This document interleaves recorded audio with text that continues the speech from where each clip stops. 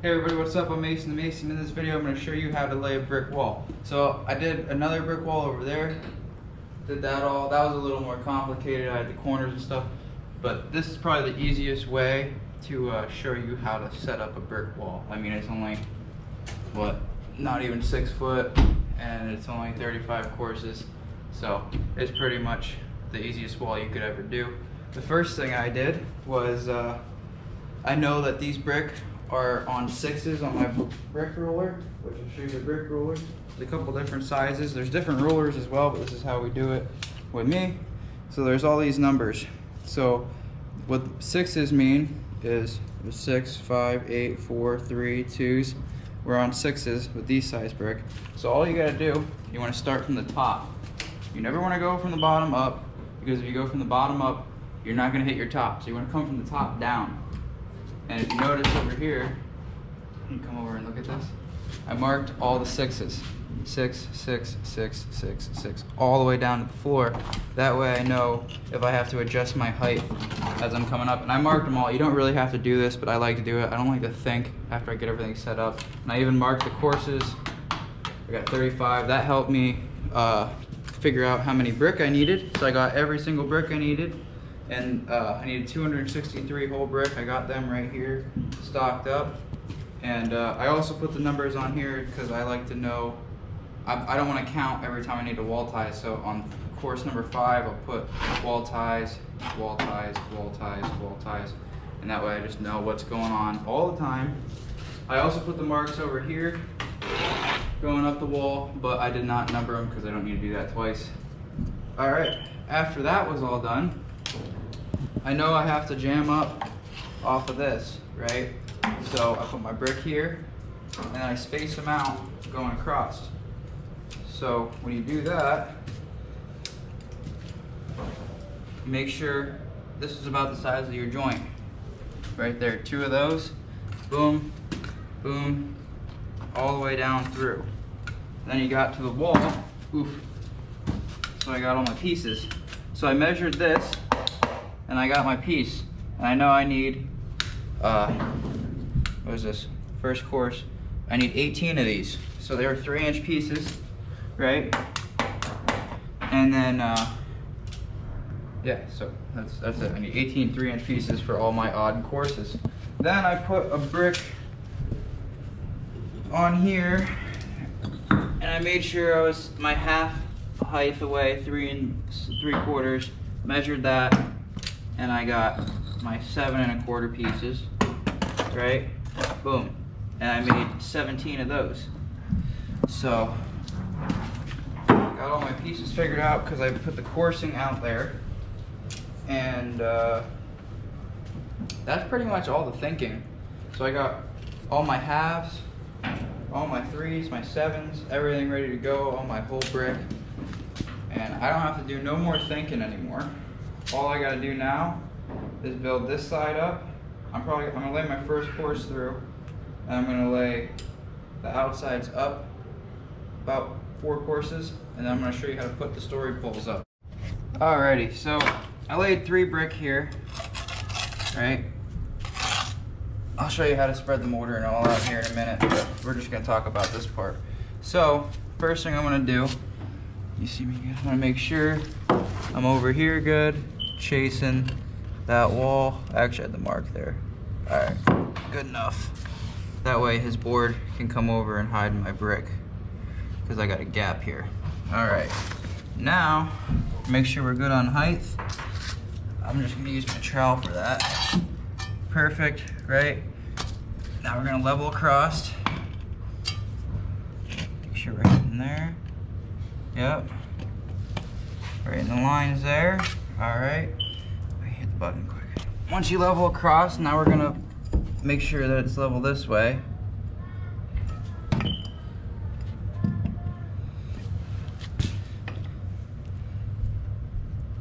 Okay, now all you gotta do is make sure you're an inch out for your air gap. So we'll tap that in. There's your inch. I good on my line? Yep, on the line. And then you're gonna wanna, I'm just gonna do this one roughly in the middle, and on the end, also an inch. Then you just kind of straight edge this thing. And when you straight edge these, you gotta kind of pick them up because they'll, if you push them, they'll just get pushed right back. So you gotta pick them up a little bit and slide them over. Okay, double check. That's it for your first course. Now, second course, something that sucks about the brick I'm using is there's no holes in them. So you actually don't have to use that much mud and they're kind of hard to beat down if you get too high, but luckily I don't have to do that. Now, take our half. Oh, see that? Don't do that, there's words there, okay? Half.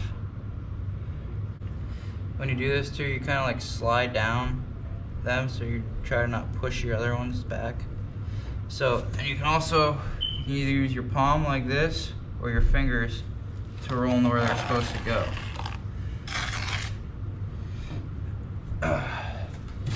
and I am just a hair big on my joint, so we're gonna try and squish them together.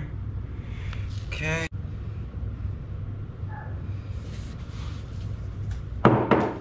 Now you do the same thing, but there's only one difference this time.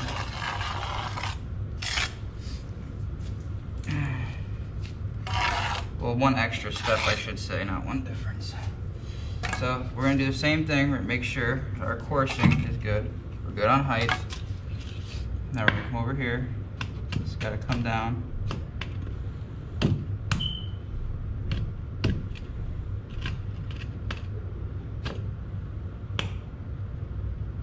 Okay. That mess I made. Make sure we're good this way. Okay. Way not okay.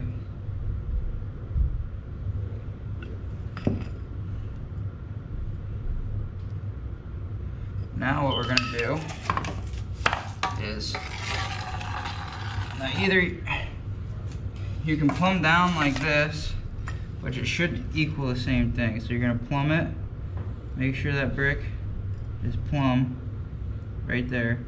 Now it should be an inch away still, which it is. And you're gonna do the same thing over here. Can't even see. It's so dark in this basement. Okay. You also gotta plumb down this side. Out your back.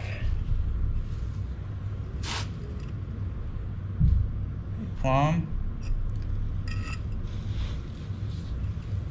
And plumb.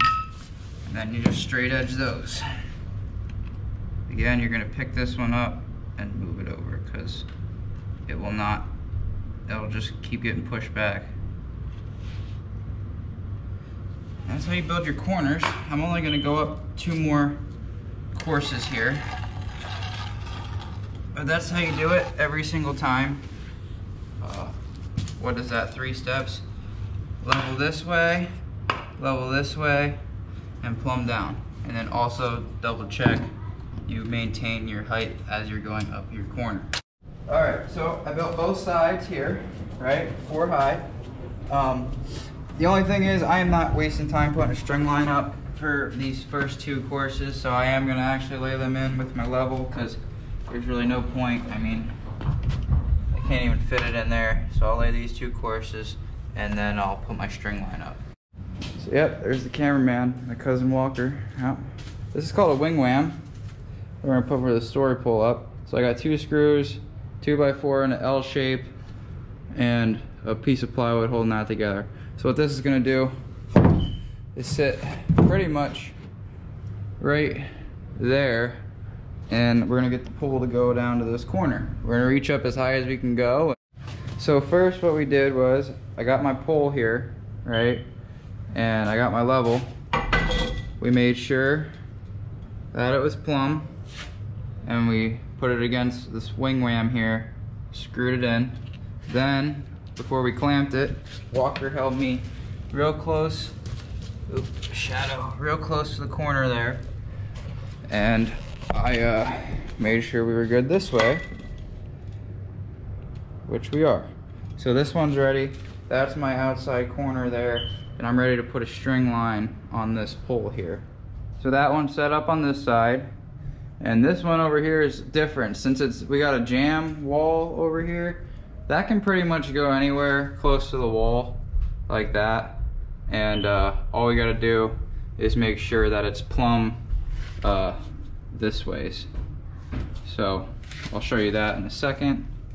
So all we had to do with this one was make sure we were plumb this way because this, like uh, this way, doesn't really matter. We just need to make sure we're off wall because we're pulling the string line along that.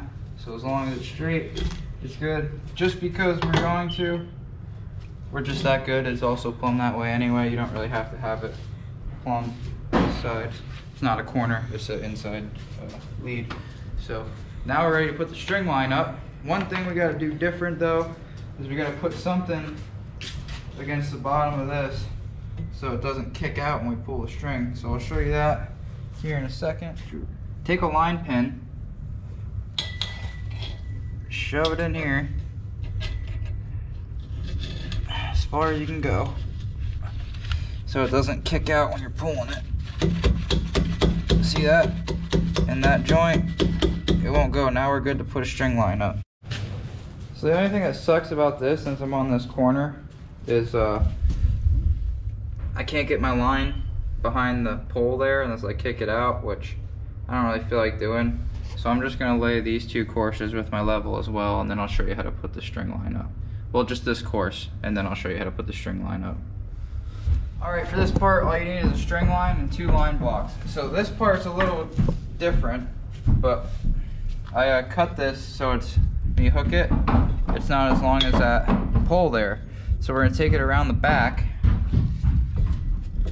like that, and put it right down on that brick. You see that in there? Put it right down on the brick. You're hooked here.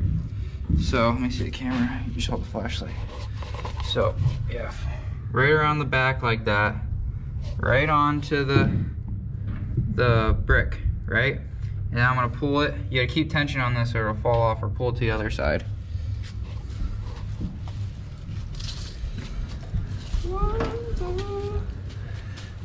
And you don't gotta go tight. I'm only going eight brick, so what is that, like six feet?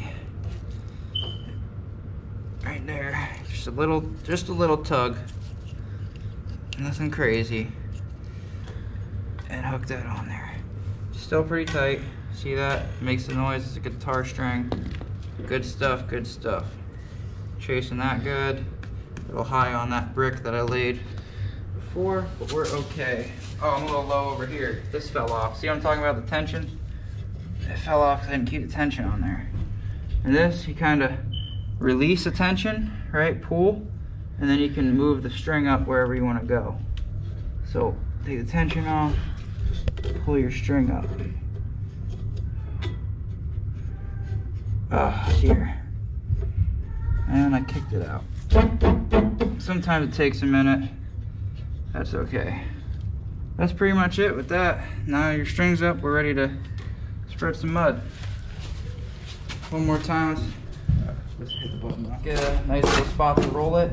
In, out, in, out. Twisting your hand so you can get a pile like that. Over to your wall, out here, cut along the back. I'm a little low right there. I'll take that mud, throw it up there.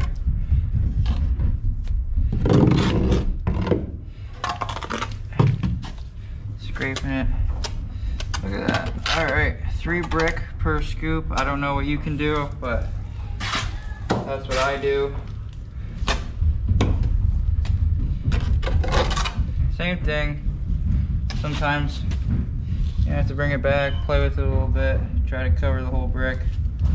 And yeah. Oh no. Whatever. I like to lay from the other way, so I'm on the other side. Take that,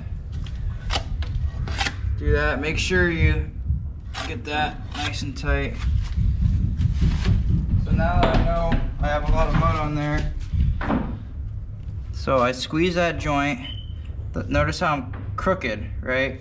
I'm trying to match that up and push it in and match the bottom up to that line. I can reuse my mud I know my joints are tight, so I can just keep doing that across there. So push it to the line. Oh, not that time.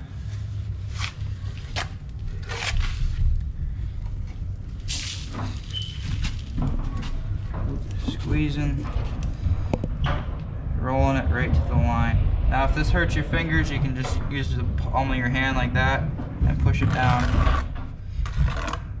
And that's pretty much it. You just keep doing this over and over and over and over and over and over and over again. Oh, here's a tip. All right, notice that?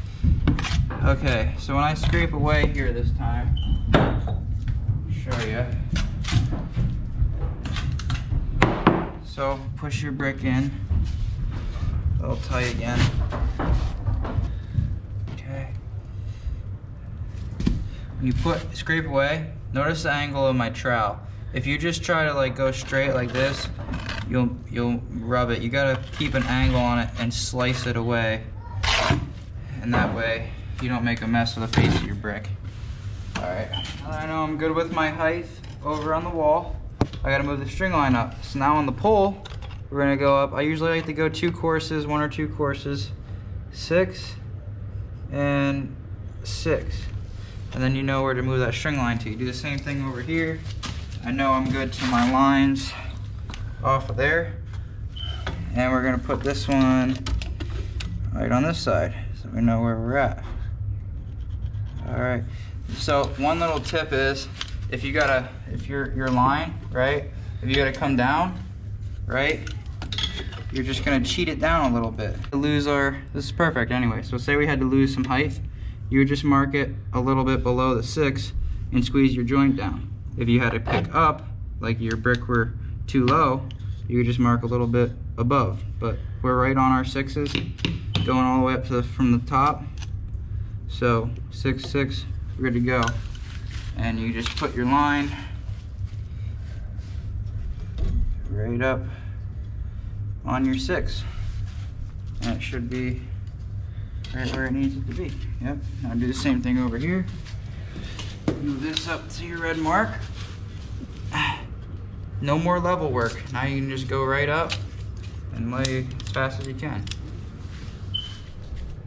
Okay, every five or six courses, you're gonna wanna put these things in, they're called wall ties. So all I do, since I know from the other wall, I just bend them in half like this, and that uh, overlaps it.